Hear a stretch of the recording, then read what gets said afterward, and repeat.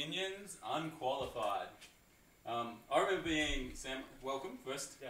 Thank you very much, Nixie. That's great to be here. Yeah. So uh, well, welcome to uh, episode forty-three.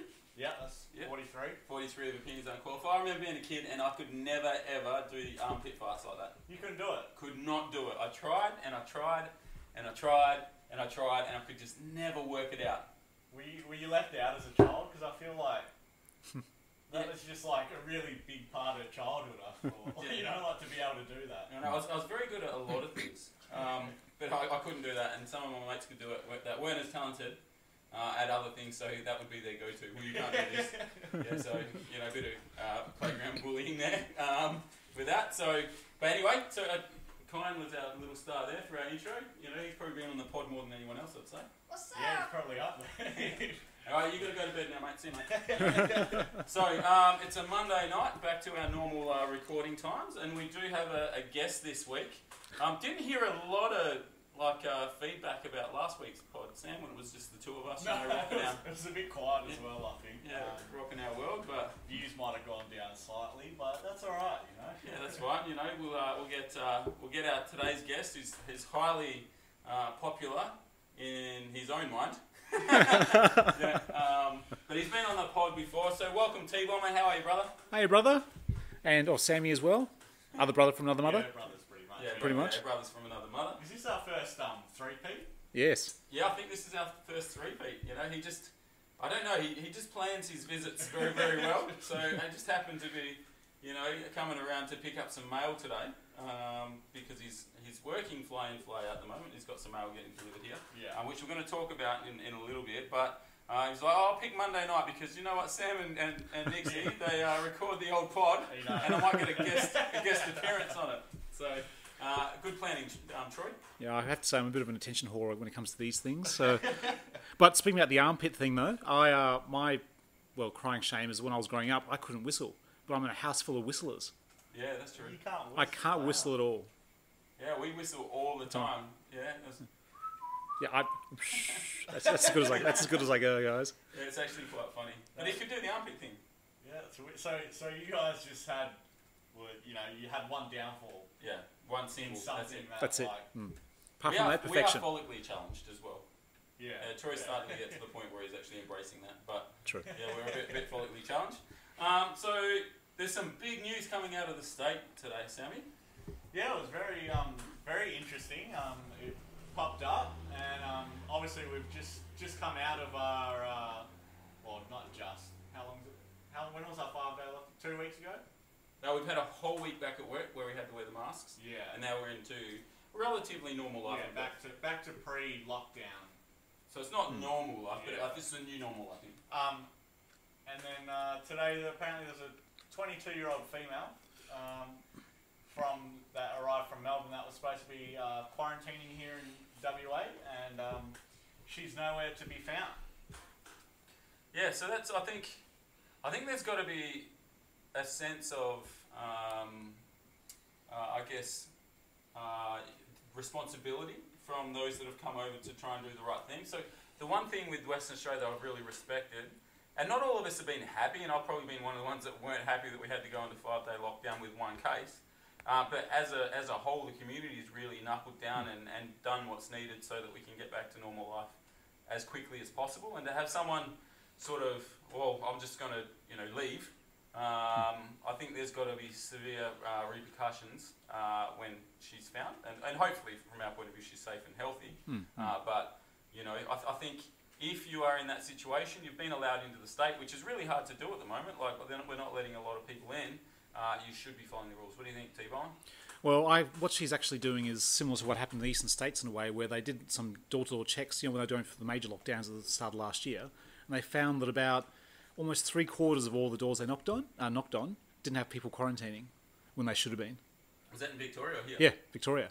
I heard um, it was quite similar here as well. That there's, Oh, there's so many reported cases, but then there was even more like unreported. Yeah, well, I know when uh, one, uh, one of our greatest guests, Chad, was on. Um, he got visited multiple times in the two weeks that he was locked down here. Yeah. Um, and he, the only days he was allowed out was day 11 to go get the, the extra testing done that you have to get on the 11th day.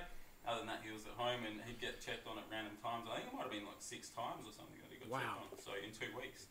Um, so you're sort of playing with fire a little bit if you decide that you want to duck out. So Well, that's it. I mean, especially um, especially in WA when there's so few people that'll be quarantining, they're going to be checking you a lot. Maybe in eastern states, especially with the height of the quarantine, there was quite a lot of people there. Uh, there's a you might have risked it thinking, well, there's only so many coppers who could actually come in and see, you know, see where I am. But in Australia, you know, in WA, I mean, the numbers are what in quarantine, like maybe single, di- like double digits. Like- yeah, yeah, maybe. I, yeah, I 20 or I so? don't actually know the figures. I know in Victoria, I know a couple of people that, that were in quarantine that didn't get checked on at all in two weeks. Yeah, So they were just sitting at home doing the right thing. yeah. Didn't get checked on. Not once. But in WA, you're going to get checked on, guaranteed, multiple times, I reckon. Yeah. It would be interesting to see, but because you can't really, they can't always just be going checking everywhere. True. You know, like they've still got other stuff that they need to attend to, I guess. Mm. Um, So Well, yeah, well, they do have law, the law yeah, to uh, yeah. you know, uphold, I guess. can't just be door knocking. Yeah, all day. Yeah, but they are willing to sit on the side of a road and ping people for two k's over. But anyway, we won't go into that. Um, you know, there's there's one thing. Well, there's a couple of things I like, but one of the things I like is is getting caught in the rain. I don't necessarily like pina coladas though, Sam. You don't like, but you're not a fan. Not a, not a fan of pina coladas, but I love a good cocktail. Cocktails are, and you know what I like about cocktails as well. It kind of, kind of goes what we were talking about last week with uh, me and you defying gender norms. Yes. Um, there's nothing more empowering, I find, than ordering a cocktail at a bar of some sort, um, and just embracing it. I, you, know, you know what? I think, I think if you're man enough to go order a cocktail at a bar and drink it, you're man enough for me. Yeah, you know, Yeah. I think sometimes, you know, if you think, you know what, I've worked hard, Mm. I'll, I want something maybe a little bit sweeter, um, and this cocktail's really appealing to me. You know, Mm. they might have a special on, Yep. and you know, you want to get it. For instance, the Brass Monkey fifteen dollars. I knew that was coming. I knew that was coming. I That's mean, the best cocktail ever. It'd, it'd be rude not to, wouldn't it? Yeah, it would be, and I think, you know, the, the one thing about cocktails that, that I really, really enjoy is the making of the cocktails. They can be fun. They can be very fun to make. That's for sure. It's creative, and it's. I I feel like when you're making cocktails, it's like a science experiment. So you've got to get this portion of this and this portion of this. For me, it's an extra little portion of some things. All right, and then you shake it all up, and then you pour it out, and you get the ice, and it's just it's a really wonderful feeling. I guess it'd be quite satisfying. You know, it's like a bit of um, sort of like after you do the launch, you know, you kind of feel like you've accomplished something. So when you have a cocktail, you've gone through all that effort. It uh, tastes all the sweeter. Yeah, I, I um obviously it's good when you're following a recipe. You know, you can you make maybe a couple tweaks to where they add say 60 mil. You might bump that number up a little bit. Yeah. But also, I really like going for the um, making a cocktail with no recipe. Mm. Just thinking, yeah, I've got this, I've got that, I've got that. Mm. I'm just gonna whack it all together and see what I come out with. And See- some, sometimes you you're like, oh, probably should have just had a vodka cranberry. Yeah. And then other times you're like, you know what, I found a new new thing. Well, I think I think that's drinking science. You know, it's it's it's getting your hypothesis Yeah. and trying to work out like a you know an end goal, Mhm. and then creating the potion or Yeah. the you know experiment. Alchemy. Yeah, and then you end up um, being the test dummy. Yeah.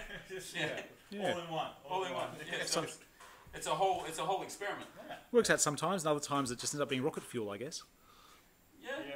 We had some rocket fuel on on uh, Friday night, Sam. Yeah. Friday night was um. So Nixie's bar. So I've worked out that the shed is a gym, it's a bar, and it's a recording studio. Yeah, it's multifaceted. Yeah, so it's a mul- multifaceted shed. So I think it's, it's sort of edging up in the, the shed category. so I think your Sam shed still, yeah, probably, probably in your mind a bit better. But um, this shed is, is very uh, versatile. Yeah, your shed is very versatile. Um, I think the only reason why your shed maybe um, why you think it's good, well, great, Mm. is um, you know, it's it's a lot easier for, for me to come here than it is for you to come to my shed. Yeah, and I was, I was thinking about it actually. I was going to have a, a Sam appreciation um, session, uh, which was like, like a, I can't remember, it was two S's anyway, so sensational Sam or, you know, um, anyway, an appreciation for Sam. So Sam comes to the shed every week. So I just want to say, in the middle of our little Oh. pod here, thank you for you know the sacrifices you make for for making the pod happen.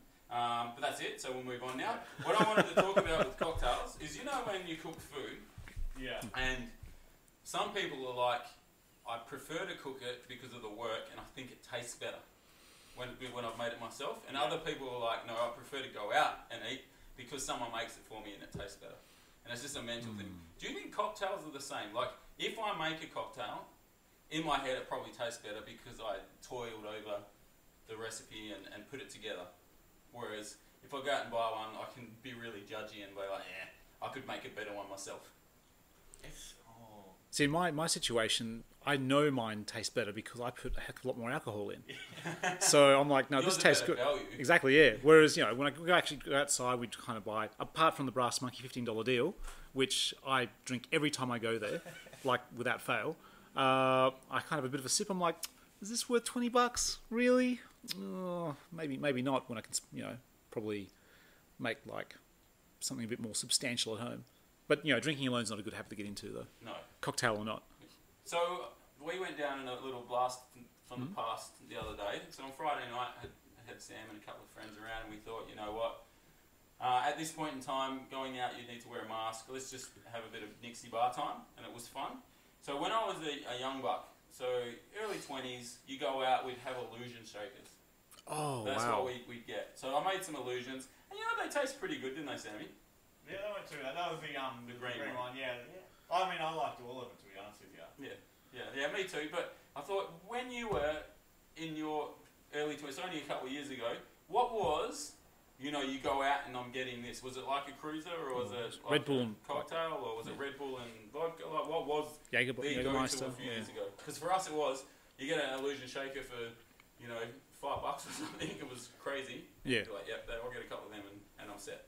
That's a, that's a really tough one. I feel um, vodka Red Bulls were probably like a, a go-to, um, especially like you'd have your pre-drinks and you'd go out and then you'd be like vodka Red Bulls. Yeah. Um, but yeah, I feel, I f- yeah, it's a tough one actually to nail it down. And I think that's more me being that I like to experiment. Mm. I like to try different things. I can't really nail down on what I think was the thing. But you know, UDLs, um, Smirnoff Double Blacks, Mm. um, all that kind of yeah, cruisers. Yeah. But yeah, it's hard to say that one that really stands out. Troy, we're the same vintage. Yeah. You're only a year and a half older than me. Um, older. Uh, what, you know, were you the same? Like, was it the illusion, the, the cocktail of choice because it was cheap and it was accessible and it was easy? Or? I used to always have some pre-drinks, but I used to um I used to smash out uh, vodka and orange juice before a big night, um, or just a goon bag or something to be honest. so I was I was I was a pretty pretty budget drunk, but the cocktail we used to have, which was a bit of a novelty, uh, especially in Bunbury, was one called brain tumors, okay. where you'd actually um they'd put some oh you'd have the alcohol, but then you'd actually put a straw in it and you'd suck all the fumes up, and it would actually really kick in like kick into your head pretty fast. Especially you knew the barman who'd kind of make you like you know triple shots of each one. So he had like about six shooters in this glass, and you just suck it up as fast as you can through double straws, and then you just breathe in all the fumes, and just wait for it to hit you. right. That sounds weird. I don't, I don't remember doing Oh that. really? Oh okay. Yeah, yeah. Well, maybe I did it one night and just can't remember because it sounds like that sort of thing that you'll forget things pretty easily. But yeah, I was a big fan of pre-drinks, so I used to like having a couple of drinks beforehand and then going out, and it doesn't matter what I drank. Um, I just do want to say, just on, on behalf of the, the We don't endorse binge drinking um, No. at all, and always drink responsibly. Uh, I think that's very, very important. Um, but I think as a, a social tool, um, it's it's an important, uh, particularly Australian society. Um, you know, it's acceptable and important, but you know, make sure you- you're responsible when you do it. Mm, absolutely. Um, talking about uh, responsibility, um, your work life, Troy. How's it going? my work-life balance is, doesn't doesn't quite exist at the moment. Yeah, it's a um, bit of um bit up and down at the moment. I've uh, as you guys might have mentioned before, I changed careers from working in public service for many many years, and then I went into a bit more hands-on role, and now my hands-on role has got me into the into the mines, but not regular work in the mines. It's more like last-minute phone calls. So uh, so I was telling my brother a bit earlier, I flew in late last night and then got a phone call earlier today saying, Troy, we need you to fly out tomorrow. And then I'll be doing that for a week and then I'll be coming back for a day and I'll be flying out to a different location after that. So it's a bit up and down from day shift to night shift to day, but um, it's it's helping me. Uh, well, it's it's keeping me busy. Put it that way.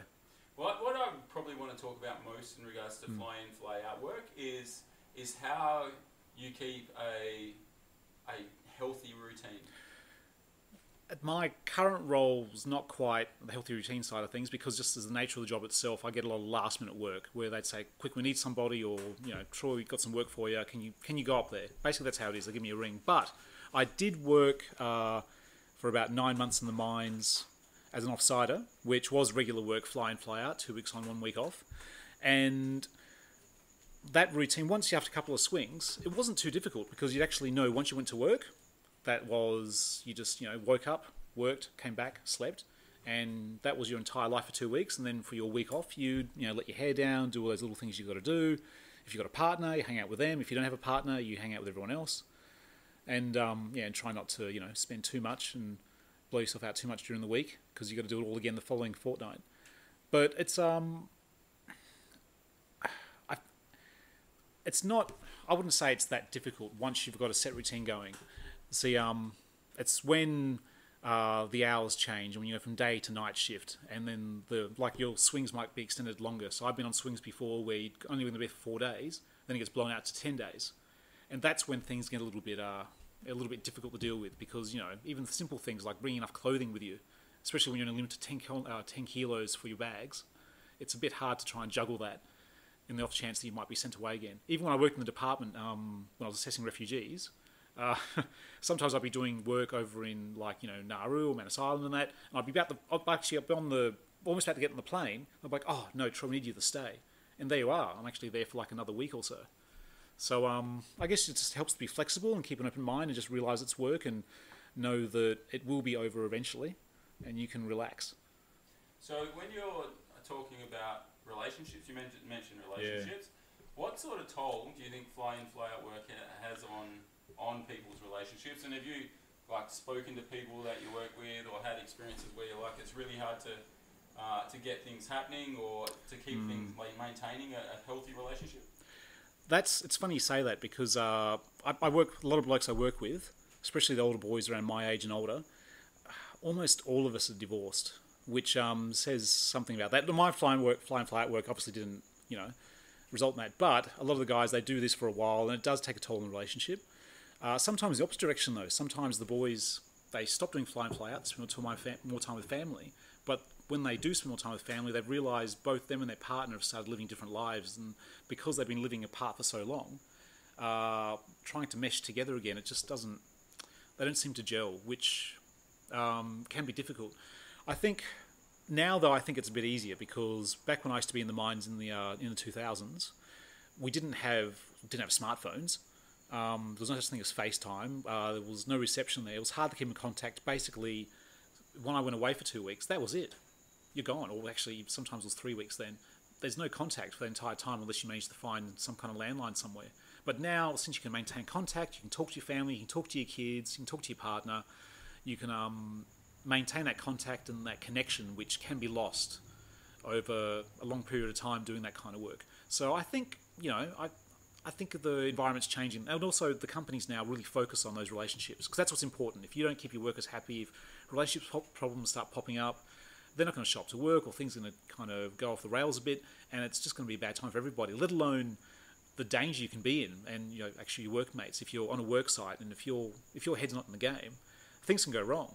Like in my role, you know, I actually hang off ropes a lot now. If you're not thinking, well, people get hurt. You know, things get dropped. People can get seriously injured. So I heard the um, the beers are really cheap up there as well. Um, they're about five dollars, I think. yeah, so so that's a I've, bit dangerous. I've heard I've heard cheaper than that. Um, Not not on my sites.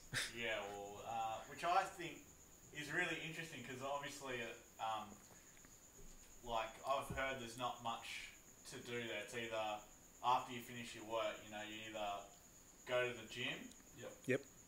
or you go to the pub, Yep. and then you go Or you to do bed. both. You know, or you, or you know, or you do both if you if you can fit it in. Well, they got they do have messes there, but the messes limit you. Like you can only take two drinks away with you at a time a lot of the time, so you can't just stock them up in your room. And the hours, you know, the, the, the taverns aren't late open that late, so they normally kind of shut them down about eight o'clock. So and they don't really appreciate if you get smashed because they also test you on site as well. Yeah. So it's yeah, it's not like a it's not the drinking culture it was when I like when I first went in the mines. That was that was a different kettle of fish entirely. That was a lot of drinking, a lot of drinking all the time. So what I've actually heard from people that you know, you said uh, they work a like a day shift and into a night shift, and then that that can severely reduce your life, like because of the imbalance of sleep and particularly night shift. I've heard that night shift every year you do it can take off a certain amount of time of your life or something. Is that factual? Is that something you've heard? It is, but night shift is more in regards to if you're doing night shift for a long period of time. So if you're just doing night shift, let's say for a year, uh, they say that can actually, um, yeah, they can shorten your life by, yeah, by you know years, and also does all sorts of things to your insides, I guess. But um, yeah, think I've heard that, maybe but because no. you're not getting as much sun. Because the sun, sun is healthy. Vitamin D. Yeah, you need that vitamin D. I'm all about people getting D in them. like, Come on. no, vitamin D, like, it's, you know, you know what I mean, Sam. I think it's more the circadian rhythm, but yeah. Um, Troy, you're, I'm, I'm very impressed with you just in general because, uh, firstly, uh, you had to grow up in my shadow, um, which, is, which is really, really tough. I was known as Charles Nix's brother at school, yes. which is funny considering you're a year older. But anyway, um, what I want to talk to you, I, I'm impressed when people perform. Uh, I guess, um, what would you call it? Uh, activities. Um, it's, that's not a strong enough word. Feats. When when humans perform feats, that I don't think humans should naturally be able to do it. and I feel like you've done this on a couple of occasions. So you've ran two marathons Yep. uh, in your life. Um, and for me, I find that just remarkable, uh, just for the fact that, that someone can run, was it 42 Ks? 42 and a half, yeah. Yeah, 42 and a half kilometres you know, in one one sitting. So I just wanted to say, well, congratulations on, on complete, competing a couple a marathon. That's unbelievable. Um, yeah, yeah. Um, Troy just got a phone call. That's all right. Yeah. That's, that's all right. Take it. Yeah, That's right. take it, Troy. I will talk about the marathon. Yeah, it's back in a second. Me, It's just, me uh, and Nixie, Door's been called three times in the span of 3 we're, minutes. we're opinions unqualified, and, Yeah. um, and we would take it in one take. we're, That's what we and, do. and we're very good at giving unqualified opinions on matters like marathons, where I have done, um, I've probably done negative 500 marathons. I'm the same. Like I, I couldn't imagine finishing a marathon because like I run five k's once every ten years. I don't know, is that like an accumulated? yeah, accumulated. yeah, Yeah, yeah, yeah. Um, but I cannot, I cannot just focus for that amount of time to stay in the zone. Uh, just running. Like, I think anyone that can run for the sake of running, I don't get. they got a strong mind. Yeah. I'd, I'd need, I'd, I'd be like a dog. I'd need someone to throw a ball for me every like hundred meters. Yeah, I understand. Because if I'm chasing something, so with ball sports, basketball, football, you know, I could play all day and I could just keep going. Like we'll often have pickup games and we'll play five or six games in a row. And you're like, yeah, I, just, I can just keep going. And you're moving and you're sprinting and you're going different paces. Uh, but to go one pace, and it's those guys sprint Yeah, they good pace. for like 42 and a half Ks, and to be able to keep focus, it just is something that just blows my mind. Yeah, I um. Well, how's this for a story, right? I um know of someone that their wife, um, as a present, gave them uh, like a triathlon thing, like entered them into a triathlon, Oh, wow. and that person had never done done a triathlon before. Was it a full triathlon? Uh, I can't remember, but they definitely their wife signed them up That's to a crazy. triathlon. Does How would you feel if you if your wife um, gifted you a, an entrance to a triathlon that you uh, have never done before? There's one of two ways I'm going to feel. I'm either going to feel like she's got this ridiculous belief in me that I don't have, and she believes in me, or she's trying to tell me something about my current state of, of physical, um, I guess, attractiveness, where I need to go out and do some exercise. So there's one or two ways, depending on how I'm feeling. Um, yeah, that's an interesting gift. I think, I think if I gave that to Jacinta, she would kill me. yeah. Anyway, Troy's back, Is Yep, heard. it's all right. Yes, Yeah, hello. He's, he's back. So first person to take a phone call on the pod. Congratulations. Yeah, congratulations. Sorry, sorry. That's a first. We love that. It was it was three missed calls, and it was uh, from my daughter, and she just wanted to ask a question about a bus ride, Oh, like a bus pass, and I just went. I, I'll call you later, sweetie. Oh, I thought it was, I thought it was something you know much more important because it was three phone calls in a row. She just kept on calling. I'm going, oh you shit, maybe, maybe something's happened. Yeah, yeah. But now I'm like, ah, well, I says I'll sort it out later. I'll call you soon. Okay. the pod takes priority. That's it. Um, so I want to talk about uh, the. I guess the, the how do you get yourself Ah. into a mental mental frame of mind which allows you to, to push through because that must be just just so draining both mentally Hmm. and physically.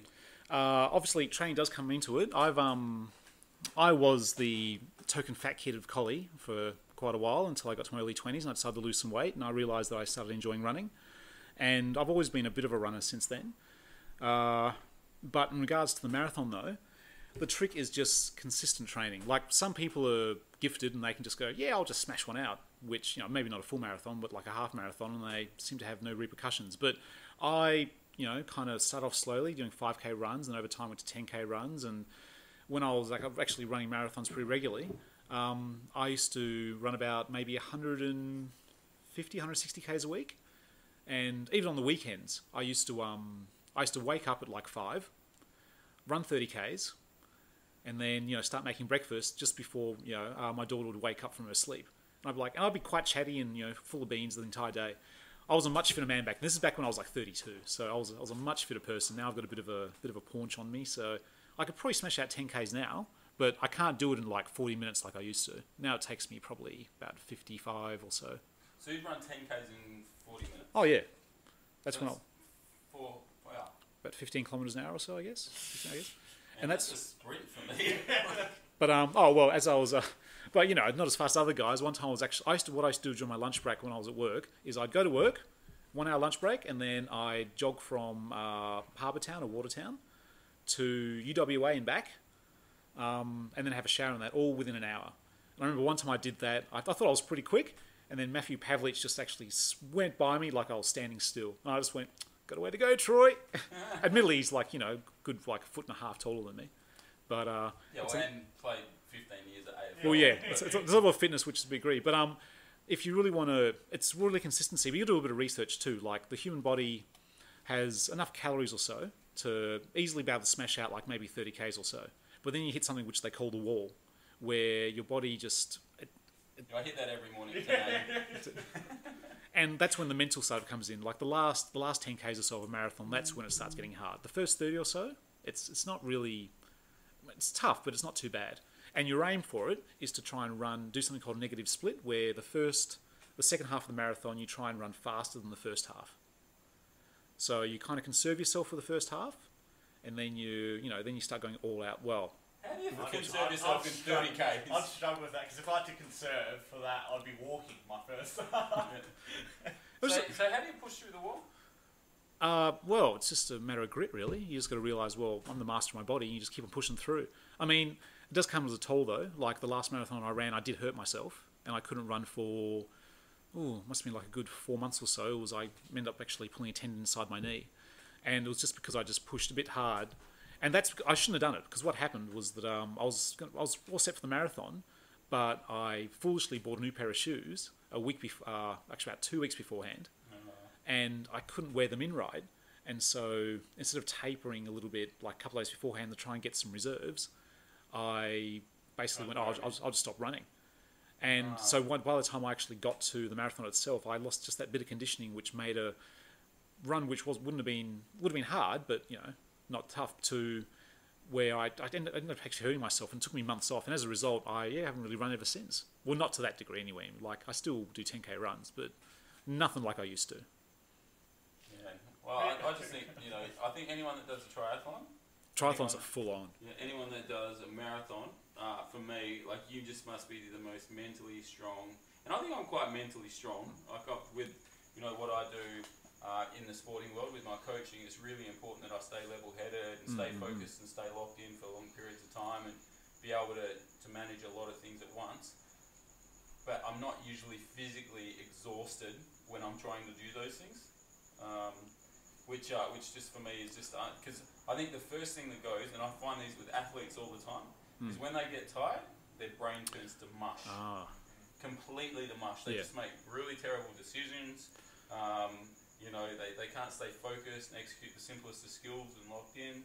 Um, so I think, you know, if you can stay locked in and, and you need to, um, you know, that, that that's really impressive well, me. that's where grit comes into it, and that's where I think, especially when you guys dealing with like uh, like athletes, the elite level, you know, at the different stages, and if you've got someone with talent and someone with a huge amount of determination and grit, and not quite as much talent, the grit guy will get there, you know, even more so. Like he'll he'll stick with it. Like um like I don't know, if, like Charles, you might know more about this. Like if uh, do a lot of athletes get discouraged and and as when they get discouraged, do you find the ones which don't get discouraged as much and they kind of willing to work through it even though they don't have the natural talent? They oh, absolutely. I, yeah. I always say at the start, if I've got two two athletes, I guess with the same, Yeah. I guess, physical attributes, but one's more talented and one's more driven. yes, driven. That's the, it. The driven athlete is the one that's going to be the one that makes it the furthest. Yeah. Happens all the time. Um, it's probably more when things aren't going their way. You notice the Mm. ones that, that really knuckle down and work on the areas that they need to work on, Yeah. and they start to shine. Um, but they're the ones that ask for feedback, and they're the Yeah. ones that are that are constantly trying to get, um, I, I guess, an edge. You know, on, Mm, mm, on their competition, uh, and they understand that it's hours and hours and hours and hours and hours of doing the same thing. And Yeah. It's similar to a marathon, um, not doing it all at once, but you know they're working on you know a, a one-footed step back for an example, and they're just Mm-hmm. doing it thousands and thousands and thousands of times, so that they can execute that shot because they know it's a shot they can get off in a game. Well, that's Uh, it. When- While I was actually practicing for the marathon, I, I changed my running style, everything. Like, I actually went to the point where I was running on my toes just because I did a lot of research into it and just trying to find ways just to make it a little bit easier on my body because I don't have a runner's body. I'm pretty, I'm short, I'm pretty stocky. Yeah. Um, my knees are still good, thank God, unlike the rest of the Knicks boys. Yeah. But I kind of, because when we were at school, like when I was a young tacker, they were actually taught to run with your heel strikes to the ground at times. And that's bad, Yeah. real bad. So I end up changing my um, running stance to running on my toes, to making sure the cadence, what, spinning up the cadence as well, where my foot placements were, and it was just little steps here and there. Um, and it's just kind of going over it over and over and over, and just doing a bit of research, a bit of reading, and making sure that you learn each time you go on a run what bits you can improve, and just gets that little bit better. And that's what I think like a lot of athletes don't understand. Like you don't need to make gains immediately. You don't have to be a superstar after doing something once. It's it's one percent of the time, and Hmm. and I think football, uh, in particular, is really good at uh, really celebrating like the, the small things. Mm, um, mm. And I try and bring that into to my world where you know it's it's the, the little things. If you do the little things and the simple things, the s- simple things really, really, really well and super consistently, Mm. so you do it all the time, you become an extremely valuable player to your team, um, and you'll be you'll be um, you'll you'll be surprised at how that opens up other areas of your game uh, as well, just by being super consistent and doing the really the simple things really well. So. Um, yeah, a lesson there, I guess, Sam. Yeah, well, yeah, that's definitely marathons. Is um, it's not me, but you can definitely respect all the people that do it and the the mental um, capacity and whatnot and physical capacity that it takes to to do stuff like that. You know, which is pretty. Um, not everyone. It's something that you can. Uh, I guess if you do do it, that you can say that you've done that. Not.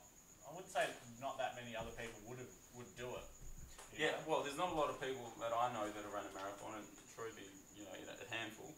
And I'm around people, athletes, all the time. So Hmm. I think it's uh, super impressive. Um, you did mention you got some new shoes um, before your marathon, and Which was yeah, that was foolish. I shouldn't have done that. I should have just worn like the you know crappy shoes I've been training in for the months beforehand. But when you're doing that kind of mileage every week, they wear out They pretty quick. But it takes time to wear into them too. But uh, yeah, no, thank you. But I'd say what you do, Sam, is pretty impressive. I've seen you on the court. no, I'm alright. Yeah, you know, all right. Yeah, like, like I can't score. I can't score, score a shot at all. And I see, like when I see uh, with Charles with the football, even now, I just think it's just magic. I go, how does he? How does he grab it? How does he do it? It's all fluid and poetry in motion. hours and hours. Yeah, and exactly. hours and hours. Again, it's our own little internal marathons and something we love. So That's it. We, we do it. Um, so what I was, I was getting to is Hmm. is I got some new shoes today. So, What'd you get? You see, what'd you get? so I got Oh. some some black and green KDs, Yeah. and I got green because that's my club colour and I love it. And they just are the most spectacular thing in the world. I opened them. And what I just wanted to talk about, like, it, it doesn't have to be shoes, but for me, shoes are one of those things. When I get a new pair of basketball shoes, I get so excited. I'm like, man, this is so good, and I've got them, and I'm there, and I just want to put them on, and I want to wear them around the house and start wearing them in. Is there anything that you're like, like with that? Like, obviously, with the, when you got your new skateboard, you're pretty, Yeah. Skateboard. Yeah, Yeah, pretty pretty, jazzed up. chuffed about that. Yeah. yeah. Um, but say like a piece of clothing or an item, you're you're a bit of a t-shirt guy. Yeah, but I don't know. I don't really like shoes. Like when I go get shoes, I I go like even lately when I've been getting basketball shoes, I've gone in. I've said, "What's the cheapest shoe?" Yep. And then I've said, "Just give me like the next five, you know, from that price going Yeah. up." And then I just try them on, and then whatever the, the price and comfort matches, Yep. then I'm like, all right, yeah, that's me, no worries. I don't really, yeah. But then it's just, I don't know. Yeah, I used to get really excited, but now it's just like they're just another pair of shoes. Man, I love it. I think did Mum say the story in one of the earliest podcasts about you getting that pair of shoes from the uh, from the sporting store? Yeah, yeah. I used Oh, to that's go right, yeah. and buy it with him all the Ah, time. I used to find ways to, to get the shoes I wanted for a really cheap price. Whereas I was like a more. I used to wear like Aero Sports, were the cheapest ones were really. Aero sports were cool though. Well, they're cool now. Back then they weren't cool. Yeah, I guess. Yeah. Well, I was my my running shoes. Uh, I think they were a fifteen dollar pair of running shoes from Aldi. But you've already And just told us about- you don't run. so that's why that's why I've been able to have them for like five years. But they actually like there's no where the ball of my foot is. There's no like rubber there anymore.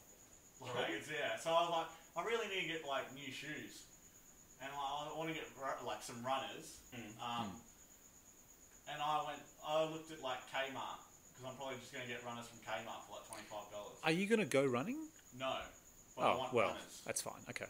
Yeah, see, I, I, I've used runners to lift, and I found that my shoes are wearing and breaking in really weird spots. So I Ah. need to get on and, and find some shoes that are. Because if I'm doing that three times a week or four some weeks, and you know squatting and you know doing a heap of stuff, I need to make sure that you know I've got shoes that can You- support You me. know what you should buy? You should buy a pair of thongs. I wear thongs at the moment for my workouts. It's great.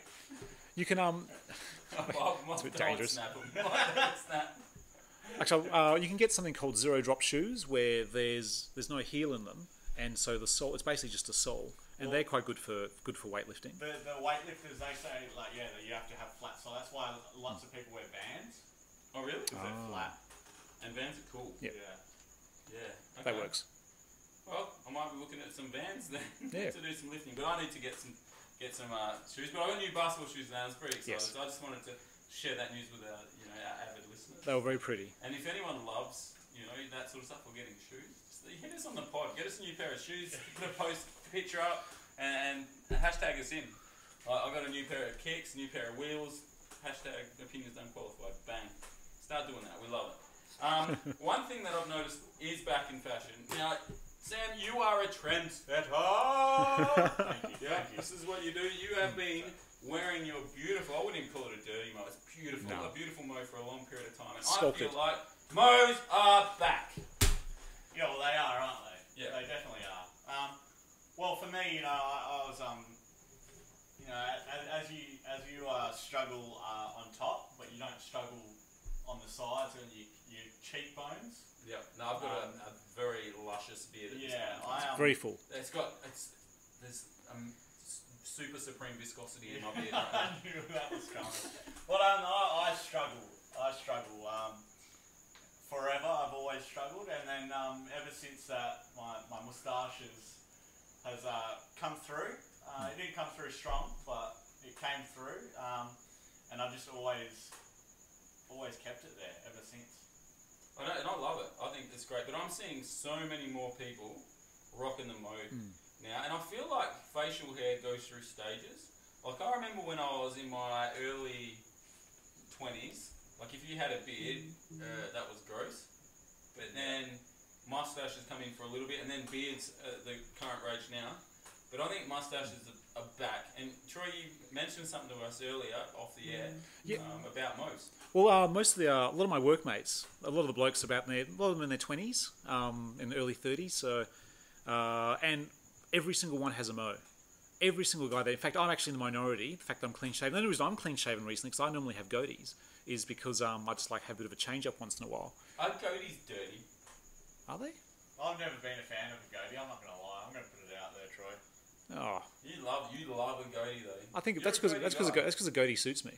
I can kind of pull one off, can't I? You should try mo. Yeah. I've been thinking about it. That was. I always want to actually have a handlebar mustache. no. No. Oh. Nah, just a mo. Just a Just a mo? Just a mo. Yeah. I could give it a go. Yeah. Um, I'm not sure if it's going to look very uh, very good on me because I'm I'm a bit thin. I'm actually thinner on top than you are when it comes to the mustache area. So, I don't know. I think I think what you need to do Yeah. is send us next time you have a shave, Mhm. clean shave. We need a, a picture, and then we're going to give you a month challenge, and let's see what mo you can grow in a month. What do you think, Sam? Yeah, I like that. Deal. Just just the mo, right? Just the mo. So just the mo, just basically just the upper lip, nothing Yep. nothing Yeah. fancy. Nah. no. Well, you can do what you want with it, but, But it stops it stops at the upper lip. yeah, no handlebars because the handlebars is too close to the a goatee. Yeah, true. Yeah, yeah. So just the upper lip mo. You can twirl it. You can Yeah, do, you but bring it off to the sides. yeah. Deal. Okay, one month. What I'll do is I'll um. And we're going to post it this week. As soon as you shave next, Okay. send us a picture and we'll post it and say the start of Troy's Mo's, the T Bomber Mo Challenge is happening. And then we'll put the details. It's a month long. One month. Yep. Yeah, and we're going to see what sort of Mo. I've never had a mustache, so this will be interesting. Love it. Um, yeah, this is gonna. I'm excited. I'm excited to see Troy with a moustache. And I think what we'll do is we will ask one of our other listeners to see if they want to be involved as well. So we'll put a, a shout out and see who can grow the Mo. The T Bomber or one of our listeners. Love it. Yeah. Love it. So we're going to do that. I I'm gonna write that down. Yeah, I think that'd be a great a Grow great the challenge. grow the mo. Who can grow the mo? Who the T bomber. So it'll be random listener versus the T bomber, and then we'll see how we go. But we need a before shot, we need an end shot, and then we'll we'll see how we go from there. Done. I'll have a I'll have a shave tonight, and we, I'll, we'll start it off. Deal. One All month. right. So um, I'm not an avid gambler at all.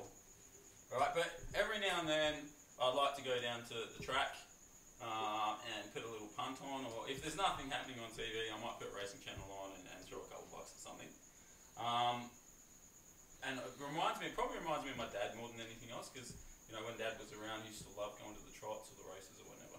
Um, but you had a, a, a really good question. I think this is probably another thing we can throw out to our, our people. Yeah, well, just whether you know, do you go, do you choose your, your horse or your dog or whatever you know the race is? Do you choose it on, um, you know, their their um, last five races or whatever, or do you go on, um, maybe uh, the jockey or something like that, or do you go on what they're wearing? Yeah, so for me, it depends on how much time I have Yeah. and how lazy I'm feeling. So if I'm, say, at the track and Willie Pike is riding and I want to have beers and don't really want to look at the form guide, I'm just putting money on whatever Willie's on. Yep. Yeah. Um, but generally, like if I'm there and I'm about the, the races that day, I'm going to sit down and I'm going to watch, uh, look at their form for the last five races, when their last spell was, what they run in this distance, what they're like on that track, and I'm going to have a look through. And that's why I love horse ratings racing particularly because you have 45 minutes between each race, and that gives you plenty of time to look at the guide, and you can go through, and it becomes a, a, a good day. Um, with dogs, it's not so cut and dry because it's, sh- it's shorter between races. But generally, dogs that win win, and it's often like if they're the favourite. There's not often, and it happens obviously, but in the majority of the time you're betting on the dog. I find that the, the favourite wins. Yeah, well, see, I'm, I'm probably opposite to you because I, I usually just go someone middle of the pack, um, and then whoever's wearing the coolest thing. Yeah, I guess, and you know.